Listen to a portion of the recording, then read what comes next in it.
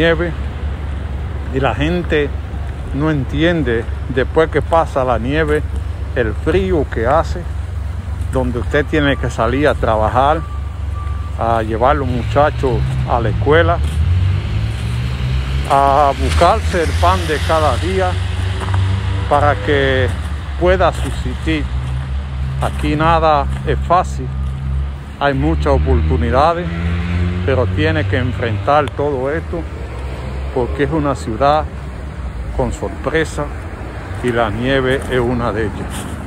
Hay que esperar a ver qué va a seguir pasando, pero hay mucho frío producto de la nieve que cayó.